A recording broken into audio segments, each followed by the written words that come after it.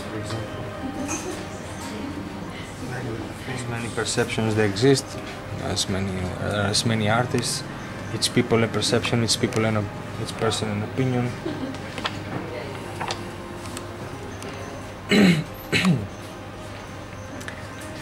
in the art school of uh, Thessaloniki, there is a teacher. I know this.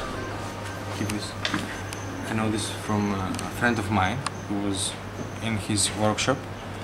And the first thing he said to his students in the first year when they went to the workshop was don't start putting chairs on the walls.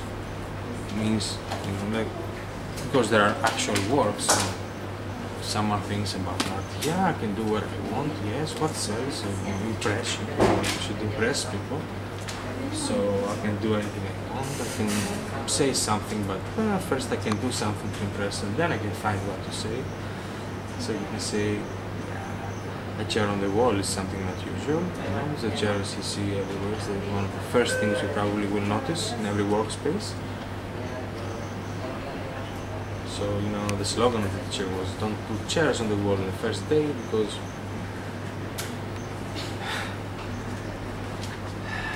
It's quite crappy and actually needs to know that you cannot fool many people.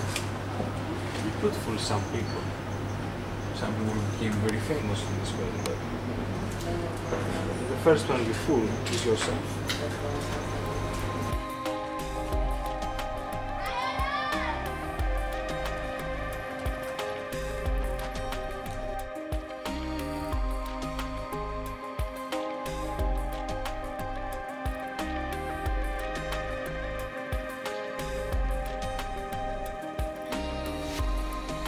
Yeah, you need more than a lifetime to understand, comprehend art, especially modern art. It's much more easier, much easier with uh, traditional forms, landscapes, uh, religious art. Yeah, religious art was something less complicated than today's advertisement. It was like nothing. You just see it and propaganda actually propaganda using painting which is the medium of choice of these ages. I didn't know what exactly, I've heard the word, but I didn't know what was kitsch back then. I started reading about what it actually is because everybody knows the word. After I got admitted to the Athens School of Fine Arts, yeah, it's useful to know about these things, it's useful to know about art history, about thoughts of uh, critics, art theory from, uh, from Plato, Kant, it's more than useful actually. But uh,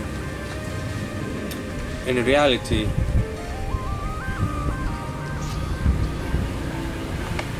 you really have to think what is you know best is a very strange word it gets stranger every time technology gets more advanced in our lives our concept our, yeah, our whole concept about who we are and what's happening between us and around us.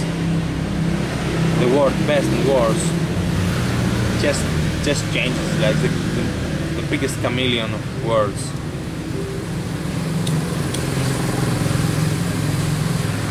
Still the thing is that you have to, have a critical judgment to judge what is the best you could say. And not you should, because even if you shouldn't, by some by some criteria you still should say no matter how disturbing or economically unsatisfying it may be. What is the best you can do for the for other people for this planet is much more important. For everything that happens around you uh, and I believe in nature, not humans, the first priority. You should do your best is be very careful to judge with what with what your in what to focus your energy.